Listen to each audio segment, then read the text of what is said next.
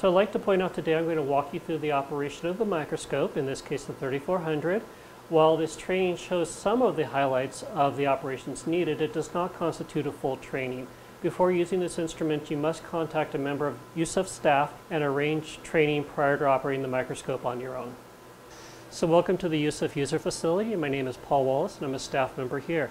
Today I'd like to go over the operation of the 3400 SEM with variable pressure and electron dispersion spectroscopy for elemental analysis. The first step in getting a good SEM sample is proper mounting and proper coating of your sample, and there are a few rules. First of all, your sample must fit inside the chamber. So if you're bringing something bigger than 50 millimeters tall, you've got to cut it into little pieces, and we can help you with that. The second rule is it must be vacuum compatible. Electron microscopes use electrons, which do not interact well with air, so if we work in atmosphere, the electrons never make it down to the sample, so that's why we evacuate the chamber. If your sample is outgassing or wet, you will foul the chamber and bad things will occur, so it's very important that your samples can handle vacuum. That's generally done by keeping them under vacuum overnight or in the platinum sputtering process in the prep lab. This microscope in particular is equipped with variable pressure, which means we can all, go all the way from high vacuum up to 280 pascals, which sometimes works for moist samples, not wet samples like an eSEM. If you have any questions about working on samples that are not perfectly dry, please ask a staff member. Also, going along with being dry, your sample must be electrically conductive. If your sample takes the electrons all the way to the chuck and through the stage, you'll get nice, beautiful images with secondary electrons. However, if there's an interruption in the electrical path from the sample to the stage, your sample will charge. You'll get a density of electrons on the sample, so there'll be a density of electrons, and when the electron beam comes in, that electron beam will be deflected by the existing electrons on the sample, which generally leads to poor images and all sorts of problems. This microscope, because it's variable pressure, can introduce atmospheric air at a low pressure, generally 280 Pascal, and the feature of that is it's another way to dissipate charge. So again, if you have any questions about your sample, please check with me before operating the microscope. Samples typically used in operation on the 3400 are of all types and varieties, all the way from metals like the coins shown here, semiconductor processes such as the square of silicon, which is microfabricated with aluminum, all the way up to nature materials, like the cicada, who can actually be imaged whole, and the eyes of a dragonfly that have been coated extensively in gold. Because this microscope is variable pressure, we can also work on glass surfaces without coating them, which is a unique advantage of this tool. However, in general practice, if you're working on a piece of glass, you want to have a conductive path to ground, and that's that little black strap on the flat samples that goes from the top surface, which in this case is ITO coated, over the side, back underneath, and to the bottom of the sample. In terms of mounting the sample, for routine work, we generally use what are called stubs. They're half an inch to one inch in diameter and have a pin on the backside which fits into the microscope chamber. We use carbon tape or copper tape to make them conductive and we coat them with platinum or carbon to make sure the top surface is conductive and appropriate for SEM. The pin stubs can then be transferred into the mounting hole, which is the four place holder on the copper base. And when working with electron microscopes, it's very important to match the height of all your samples on the stub. So in this case, we have a particularly tall sample and a particularly short sample. What generally happens in this geometry is you focus and move the beam up to work on the thick sample, forget, and then hit the microscope with the tall sample. So wherever possible, go ahead and be sure to use the same height of samples. As this is a vacuum technique, it's extremely important to be clean, have clean samples, and wear clean gloves because the oils on your fingers can foul the microscope and cause problems with the vacuum. The sample we're going to look at today is a piece of rock, I believe it is granite, embedded in epoxy and then mounted into the one inch holder. It also has a piece of plastic, which we'll see the function in a moment, and it's held onto a little pin. When working with the microscope, it's always important to know the working distance, which is the number indicated here. So you want to always be sure you understand the working distance and record that number. In this case, it looks like it's a little over 5, where if you're working with a taller sample, you would say 24 is your working distance. This is a precaution that limits the possibility of damage when loading the microscope. The electron microscope is stored under vacuum so that the door won't open. To load your sample, the first thing you need to do is bring the sample chamber up to atmospheric pressure, and that's accomplished by pressing and holding the air button until you hear the microscope move. And then it will complete the automatic vent procedure, which takes a minute to two minutes depending. So the first things you want to do in working with the microscope is sign into the paper logbook. This is your protection as it logs your name, your account number you wish to use, and the start and stop time. When you enter our user facility, the SEM computer should have Taipan enabled. This is our access control software, and you must use the username and password assigned by USIF to get the login. So first thing you want to do is log in to the microscope, and that will open up a window and free the software for use. To start operation of the SEM. you want to start the software, which is labeled PCSEM in the upper corner, and that will start launching the software.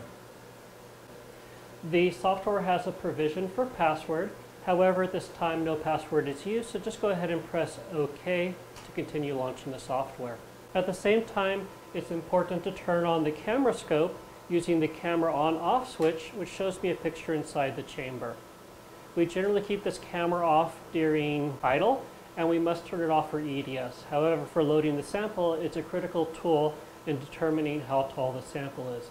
We're looking from the side, and what we'll see is the sample actually rise, but hopefully not collide with the backscatter detector or the microscope as a whole. The next important step in loading the microscope is to correctly set the height of the sample. That's done first by measuring the height against the sample block and then recording that into the software setting. The size is the diameter, and it's important to pick a diameter that's on the same scale as your sample. In this case, we're working with a one inch sample, 25 millimeters. However, it's appropriate to choose something slightly larger at 51. The reason is if we choose a smaller number, we won't be able to move it to everywhere on the sample. If we choose a much, much larger number, like six inches, we won't be able to move very far from the center due to collisions with the side of the stage. So here I choose two inches, which is generally appropriate. If I'm working with a 12 placeholder, I'll choose three inches or 75 millimeters. The height is a selectable value starting from standard and you select the value that you measured previously. We are going to use the EDS today, so that's checked and we can go ahead and press the OK button to go through. It repeats back the information, in this case 51 millimeters and a height of 6, and allows you to go ahead and say OK. When the microscope reaches atmosphere, the door can be opened, so you grab the two handles from the side and pull gently towards you all the way to the hard stop, and that exposes the stage. The orientation of the stage is such that the top will become up, the bottom will become down, and left and right. So you always want to grab your sample, put it in the holder, press down firmly, and have the top part of the sample pointing up. There is a safety protection here where your sample must clear this height here, otherwise it will collide with the pole piece. So when you're closing the door, carefully make sure that the sample slides beneath that piece. So to go back to vacuum, it's a good practice with electron microscopes to gently hold the door with one finger, press the evacuation button, which starts the pump down, and once you hear the pump start, go ahead and tug on the chamber door to make sure that the door is closed. On some microscopes, the door will roll back open, so it's always a good idea just to make sure that's sealed before you do anything else. Along the top bar of the microscope are several very useful buttons. At the far left, we have the on button and the off button. And the way electron microscopes are designed is the button to do next will be illuminated. The beam is off, so the off is not allowed. However, at this point, we could turn the beam on, which is why the on is illuminated. The accelerating voltage is shown, followed by the current. We have not turned the beam on. At this current time, the microscope is in the run condition where the image is updating. And when we take a capture or want to stop, we go ahead and press freeze. At the end of your capture, it's very important to go ahead and press run again to go back to live update, otherwise the image won't change. To set your beam parameters, go ahead and click on the accelerating voltage and the beam parameter tab will open. First set your accelerating voltage and this number can change depending on what you're looking for. Today we're looking at a stone sample doing EDS so we need a relatively high accelerating voltage and here I'll choose 20. However 30 kV is appropriate for high resolution and numbers as low as 5 or even 2 kV are appropriate for low voltage imaging. So select the one that works best for you. Once you've selected the value, go ahead and press the on button, which will start turning the microscope on and conditioning the filament. When the accelerating voltage turns on, the image increases so that you can start to see what's on your sample. It's important to make sure that the filament is saturated. So to do that, we press the auto filament saturation at the midpoint following the second button in the training notes, and that will run the auto filament saturation routine. If we're not fully saturated, we don't have enough current, we have a weak signal. If we increase the current, we end up saturating, and increasing the current further does nothing other than reduce the lifetime of the tip.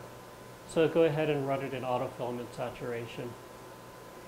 The filament and gun bias are typically automatically controlled, and then we could set the probe current. The probe current again depends on the experiment you're wishing to accomplish. In general, I start at 50% on the probe current. However, for high resolution, I'll go as low as 30 or even zero, or as high as 90 or even 100 for EDS, depending on the needs of that experiment. The working distance parameters down here do not reflect accurately on the actual position, so we're going to ignore those for a little while. So go ahead and select your probe current in this case, we'll start with 50% as an initial value. So going along the top of the screen, there's a number of menus in the taskbar that we'll make use of today.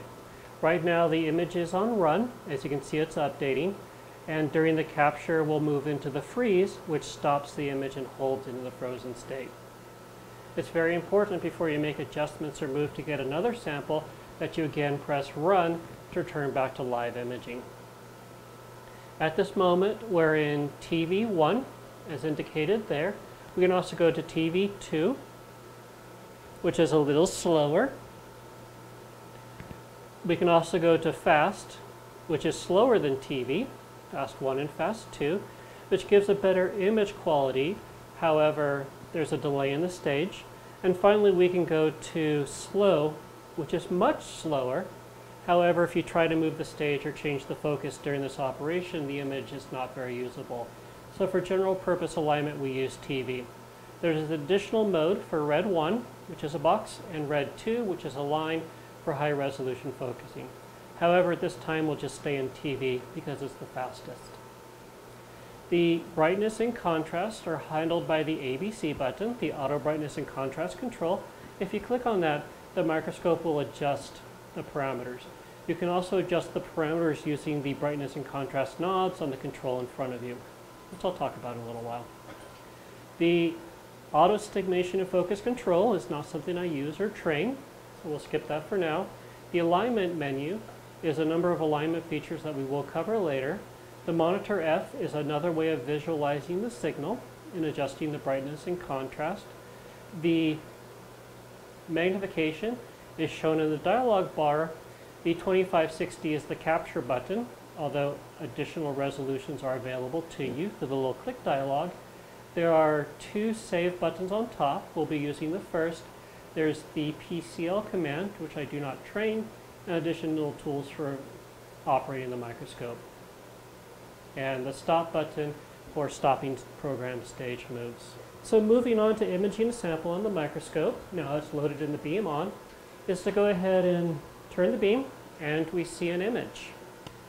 So to operate the microscope, there's a number of controls on the pads in front of you.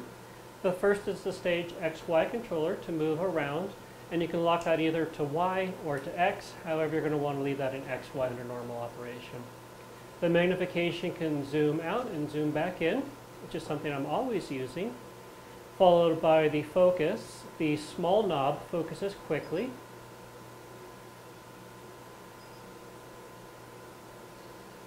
So we can focus quickly with this smaller knob and a little bit slower with the big knob to make sure the microscope is in focus.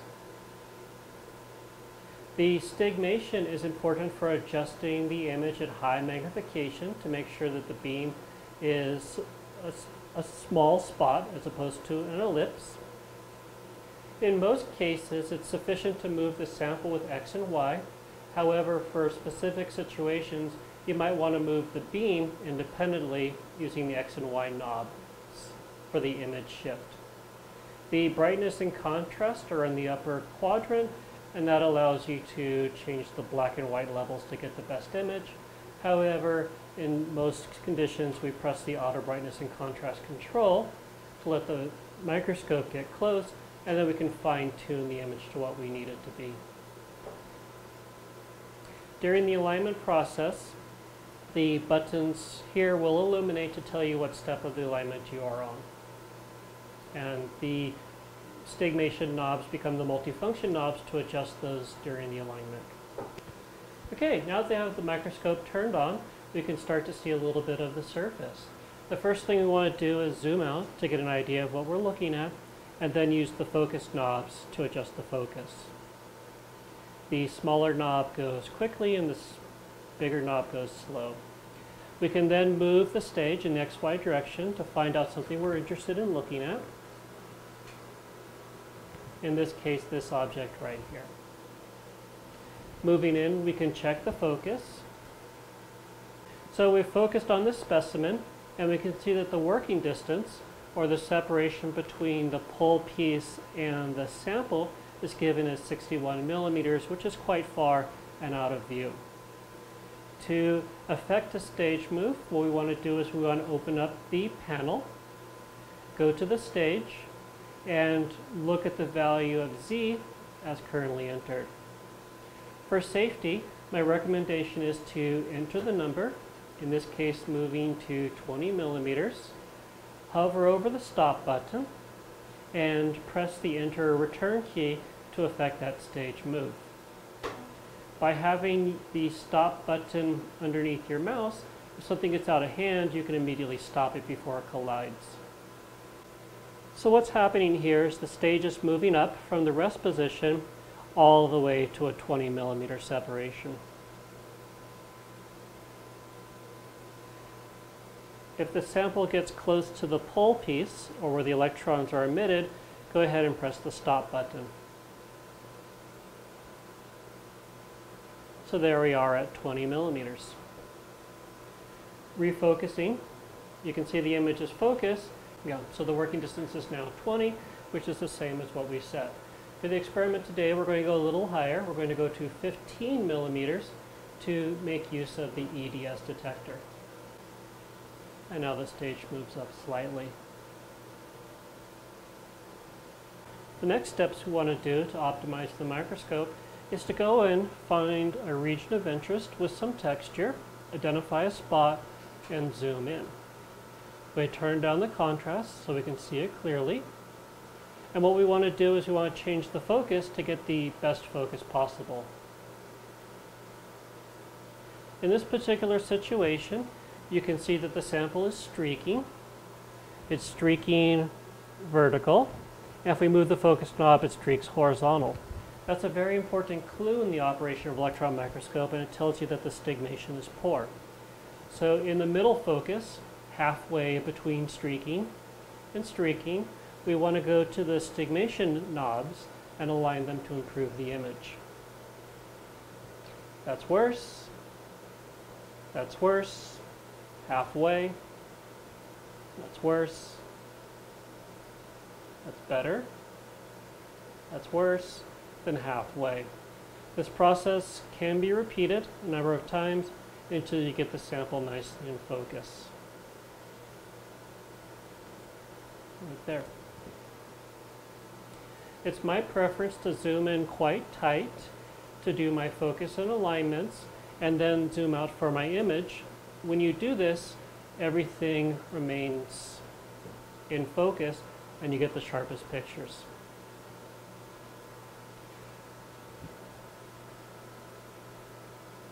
To capture this image, we have three modes available to us. The first is to press the fast button so that you're on a fast scan and then press the 2560 button. This is capturing a frame averaged image where each frame is collected, added to the previous frame, and then the result is displayed on the screen and the image shows up in the corner showing you that it's being saved. If your sample is drifting or moving and you do a frame average, you'll see that your image blurs or looks like it's out of focus. An alternative is to press the run to go back to live, press the slow, which is a much slower scan, and again press the capture. This is called line averaging, where we scan the line multiple times and then display the results for each line. If your sample is drifting, each line will be in focus, however the image will be distorted. So if you were expecting to have a circle, you might end up with an ellipse in the finished image. When the image finishes the line capture, the line averaging, it will again show up on the bottom as a saved image.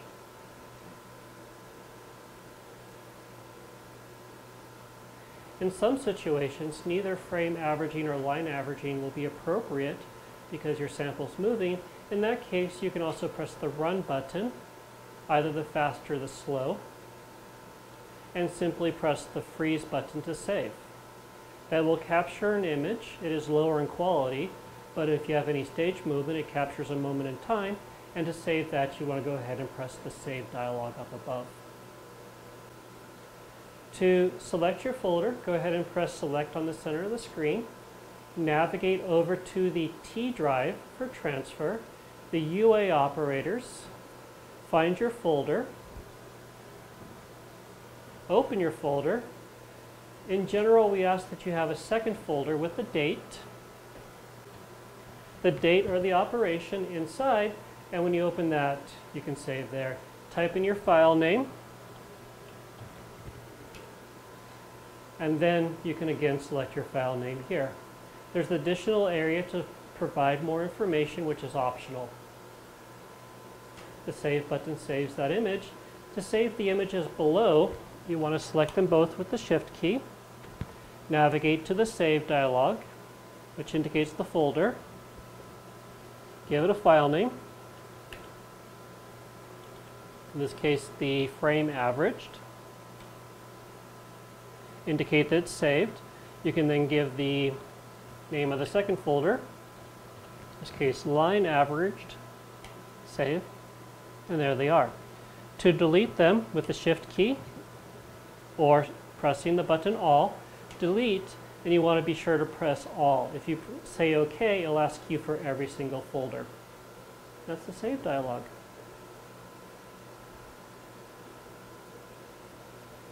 To get back to a live image, we can go ahead and press the run dialog which gives us the image. While this is a flat polished sample, it's not particularly interesting for secondary electrons, so we have some other modes of operations we can use to image it more appropriately. One of the modes available to us is in the Image tab, which is to switch from the secondary electron, as shown here, to the backscattered electron auto brightness and contrast control to see how we did. So here's the image in secondary electron. There's some more information we can get about this sample, and that's done by switching to other modes like backscatter and EDS. Looking at this sample, this is a flat polished sample of rock. It's not particularly interesting in the secondary electron imaging because there's very little contrast in the topography. There are some additional modes available on this microscope to enhance the contrast. This is a, a technique that works well. There are some additional modes to enhance the contrast using other techniques. In this case, I'm going to increase the signal and switch over to the backscatter detector. What you can clearly see here is there's a contrasting composition where the heavier materials are shown as white because they backscatter more effectively. The light materials, or lighter materials, are shown as dark because they have less backscattered electrons. And in this case, a speck of dust or a piece of carbon shows up as very dark. As we zoom out on this rock sample, we can start to see a number of different domains become apparent. This information was not included in the secondary electrons, so backscatter can be a very useful tool. Okay, now that we've imaged this sample in both secondary electrons and backscattered electrons, we can see that there is some difference, however it is faint at this time. This microscope is also equipped with another imaging mode called elemental dispersion or electron dispersion spectroscopy that allows us to determine the composition as a function of position on these samples. So to start the elemental analysis, go ahead and launch the NSS software. We'll ask you for where you hope to save your file. Navigate to your folder on the T drive under UA operators to the file under your name. Click on the new project, right click on the project, give it a new name. If more information is needed, you can, you can enter it in the comment section. Go ahead and say OK. The first dialog we want to use is the spectrum dialog, which shows the spectrum on top, the elemental analysis on the side, and then some of the statistics for the process. At this point, it's important to look at the accelerating voltage to make sure that matches the microscope, that the magnification updates as you zoom in and out, so there's a connection. The working distance is the same on the microscope, and then these three values are some statistics about your signal rate. In this case, 33,000 is fairly high, and if we press the run arrow, what we see is a big peak at zero. What that means is we forgot to turn off the camera scope, so make sure to click the camera to the off position, at which point you'll actually start to see the signal climb. To gather your image, go ahead and press the start button. That will start the accumulation and the things you want to be looking for is the live time displayed over here and keep track of both the dead time, the signal rate, and the time constant. The operation of the microscope is such that the dead time starts at zero for no signal and goes up to 100 for completely overwhelmed. You get very few counts at zero, and you also get very few counts at 100, so you want to be at the peak. Generally, that's accepted to be between 40 and 50% to give you the peak signal for your dwell time or dead time. To change the dead time, you can either change the signal rate by modifying the configuration of the microscope, or you can change the time constant. Your operator will show you how to change the microscope to increase the signal rate. In this case, our spectrum is finished. You can see several peaks at um, quantized energy levels consistent with the Bohr model of the electron. And we can see things like the K line of silicon at 2.7, which matches the table on the wall or the poster behind. When the accumulation finishes, you'll see the image displayed on the screen with some of the potential elements already labeled. To refine this, you can use a combination of clicking and dragging on the mouse wheel to go ahead and scale into each and every peak.